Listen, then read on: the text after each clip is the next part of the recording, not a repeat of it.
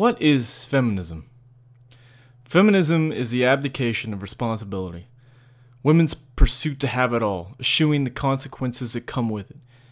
An ideology cloaked in false morality, feminism seeks to garner sympathy by claiming women are hapless victims who merely desire an even playing field. The advocates feign righteous indignation like an innocent man on death row, looking to clear his name. Their mantra of equality attempts to veil the insidious nature of their ideology. However, that veil is paper thin. It's easy to see through it if you're not blinded by the sexual appeal of the feminine. Feminists seek equality across the social board. A noble cause, right? Maybe, if that was truly their intent. They instead want hegemony over men in all facets of society. Take the wage gap. It's an often broached subject. Women want parity in the workforce in regards to pay. They want daddy government to step in and use compulsion to get what they want, instead of doing what is needed to achieve income parity. They refuse to work the more dangerous and labor intensive professions that tend to pay more. They also refuse to work longer hours, especially after they have children. This is one facet in which parity is achievable through toil and diligence. However, they resort to government intervention, the easy way. Feminists lobby for the vote, but refuse to qualify for the draft. They enjoy the trappings of democracy while their male counterparts get their limbs blown off in countries thousands of miles away. They gain the privilege to vote without the consequence of defending that privilege. Feminists have openly embraced the sexual revolution and lauded the advent of the birth control pill, but run to the government when they choose a bad man with whom to have kids or when they inadvertently get pregnant.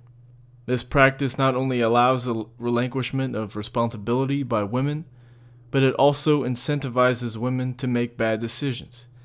As a result, surprise, surprise, women make more bad decisions. Moreover, while white men as a demographic pay the most taxes in the United States, the querulous feminists whine about having to pay $5 a month for birth control, engendering them to lobby for free health care. Women also destroy their capacity to pair bond in a relationship when they are sexually licentious, then complain that a man won't date them after they have hit the wall and lost the capacity to love. This has led to the highest divorce rate in U.S. history. Feminists spearheaded the prohibition movement in the early 20th century to take away men's alcohol because women chose drunks to marry instead of having higher standards and choosing a more stable man and provider. Speaking of higher standards, only after being carnal with dozens of disreputable men do the modern Western women pursue quality men in their 30s, only to find that no quality man wants them. This places a large burden on society. When single women age, their health declines, then society must take the burden to take care of them. Feminism is just women's way to have it all, but without the responsibility of the burden from bad decisions. Men are burdened with these bad choices that women make, to the detriment of society. And now women resent men because we have bent to all their demands.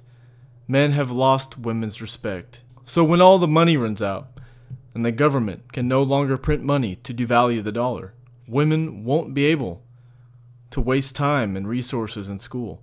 Women will no longer have the luxury of being a single mom and being paid for it.